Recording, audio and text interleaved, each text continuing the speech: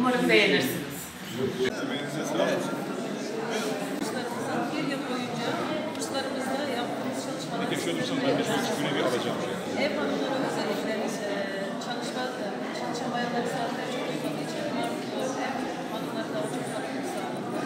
Güzel keyifli zaman geçirerek bu sıfırdan nasıl başlanılır, bir tabloya nasıl dönüşür, bu kurslarımızda bütün bunların bütün aşamalarını anlatarak, öğreterek kurslar öğrencilerimizi tablo yapar hale getiriyoruz yani.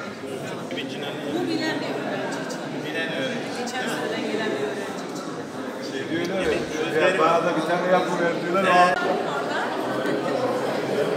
Silikon kalıpları hazırlattırdım özel. Özel tasarımdır bunlar. Work'la çalıştım. Ee, kalıplar hazırlanınca da e, taş tozuyla döküp e, tek tek döküldü yalnız. Daha sonra tutallı hamur çiçeklerle de renklendirerekten Ee,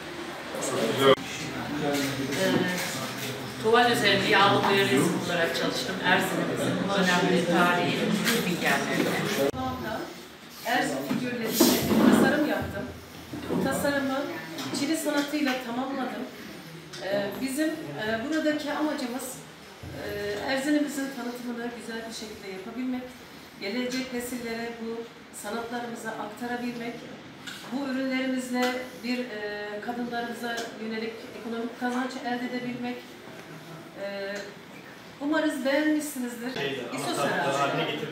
Bütün figürleri bir arada toparladık. Narenciğimizi, mandalinamızı, greyfurtumuzu, denizimizi. Hepsinde geri dönüşümü yansıtmaya çalışıyoruz. Ee, bu yıl kendi aramızda diğer çeşitlerimiz de var ama ufak hediyelik eşyalar adı altında Erzin'imizi en kısa yoldan en e, ekonomik olarak nasıl tanıtabiliriz diye bir proje hazırladık.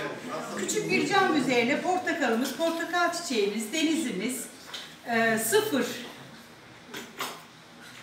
ekonomi, sıfır maliyet e, yani tamamı geri dönüşümle elde ettiğimiz bir hediyelik eşya oldu.